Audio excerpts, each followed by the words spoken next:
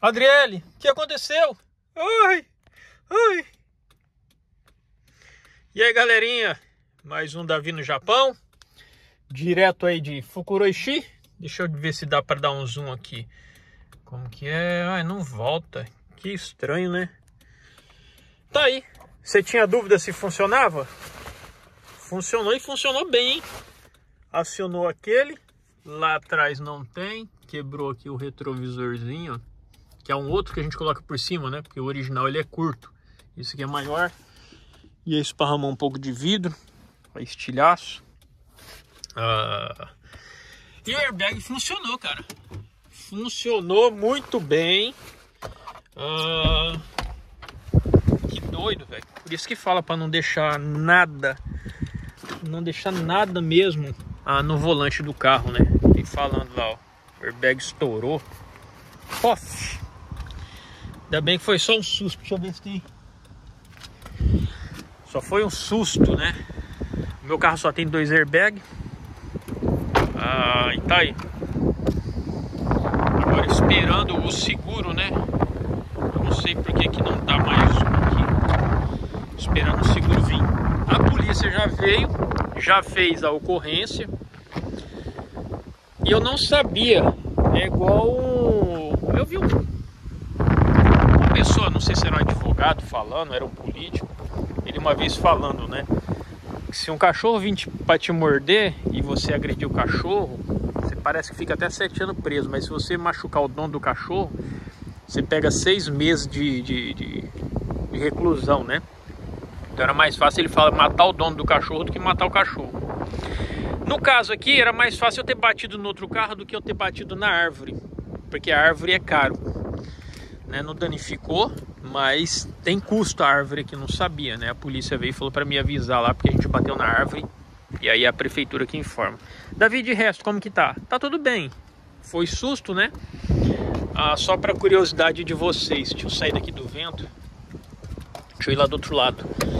Quando bate, para quem nunca se envolveu em acidente, né? Ou bateu e o carro não tem airbag, igual eu já bati uma vez no outro carro que eu tinha, não tinha airbag. Ah, dentro aqui do carro, cara, fica um fumaceiro, velho. Fica um, um gás, porque é tipo uma pólvora que vai aqui dentro do, de onde aciona o, o airbag, né? Aqui não dá pra ver, ó. Que doido, né? O jeito que estourou. E ele tem tipo uma pólvora que dá uma faísca. Eu já vi um, um teste de airbag como funciona. Tem acho que no YouTube também. Os caras testando airbag, o cara compra a caixinha tudo e os youtubers testam. E aí dá uma faísca que é tipo uma pólvora, não sei o que que é aquilo, pega explode rápido. E aí eu acho que deve ter uma cápsula pequena de ar e já ejeta o ar, igual encher pneu de caminhão. Você mete o fogo e aí solta o ar com tudo, o ar, puf, estufa o pneu, enche rapidão, né? E é assim que funciona o airbag. E aí depois o ar vaza por esses buracos aqui, ó. Tem um buraco aqui na lateral. E aí dentro do carro ficou um gás, um cheiro. Até agora ainda tá um cheiro meio estranho, né? Ah, tem que tirar agora aquele negócio lá que eles vão trazer outro carro para nós aí. E aí fica aquele cheirão estranho, cara. Uma fumaceira. Aqui no volante do no airbag do carro tá caindo uns farelos ali, ó. Uns resíduos, tá vendo? O que, que é esse resíduo aqui, ó? É cheiro de pólvora. Tá vendo? Fósforo. Parece que é um fósforo com pólvora. Aqui também tem um buraco que sai o ar. Davi, como que aconteceu o acidente? A minha esposa estava vindo, né? Ela tinha parado, havia parado ali um pouquinho atrás. Ah, e aí saiu. Deixa eu descer lá. Eles parou um pouco de ventar. Ela parou aqui, ó. Atrás. Sempre a gente para, né? Um pouco mais ali para trás ali, ó. Mais ou menos na direção desse carro aqui. Tem uma nessa entrada, nessa garagem. Ela parou ali para falar com a Isabela. A gente sempre para para pegar outra pessoa. E aí saiu e veio. No que veio, um carro virou dali, virou com tudo e veio aqui na contramão. E aí continuou ouvindo, né? Como tava rápido. Às vezes mexendo no celular, não sei o porquê, também não sei o motivo, né? Não posso julgar, não vi. A Adriele assustou, entrou aqui, ó.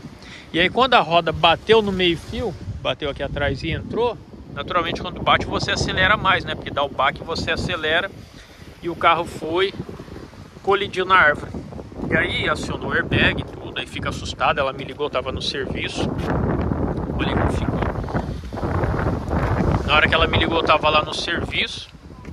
Aí vim correndo embora, né? Vim aqui ver ah, o que, que, tinha acontecido. Que ela ligou, coitada, tava bem assustada. Tá com as dores aí no corpo. Tá sentindo uma dor estranha. Vou esperar trazer o outro carro aí. O seguro trazer e aí vamos lá no, no hospital pra ver, né? O que que é. Essas dores aí que ela tá sentindo. Eu acho que é mais do airbag mesmo, na hora que estourou. Aí o braço ficou um pouco esfolado. Porque você não tá esperando, né, cara? E aí bate, o corpo, o airbag vem estourando na tua frente. E aí te empurra, né? Pelo menos não, não machucou, eu acho, né? E agora é só isso aí mesmo. Já limpei o carro, tirei a cadeirinha do Joaquim. Tirei as coisas aí, porque não sei se eles vão dar outro carro, né? Pra gente ficar aí ou não. Mas a gente tem que vir aqui tirar o carro daqui, porque não pode ficar aí obstruindo. E de resto, como que tá, Davi? Tá bem. Graças a Deus tá tudo bem. O tempo hoje estava chovendo na hora, né? E hoje eu tinha ido de bicicleta. Eu fui que eu queria chegar mais cedo para vir embora mais cedo. Queria sair 5 horas da tarde. E aí ela entra um pouquinho mais tarde porque eu levo o Joaquim pra escola. E eu falei, ah, cara, eu vou embora. Vou de bike mesmo. E agora tá saindo o sol, parou um pouco de chover, ó. Tá pingando bem pouquinho. E o sol resolveu aparecer. E de resto, tudo bem. De resto tá tudo bem, graças a Deus. Ah, não tem nada para falar. Agora é só esperar o guincho mesmo.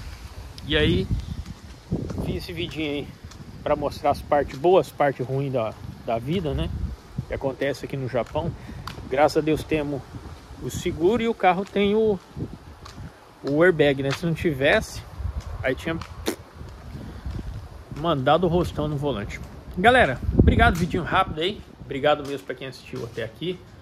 Forte abraço aí. Davi no Japão. Fui.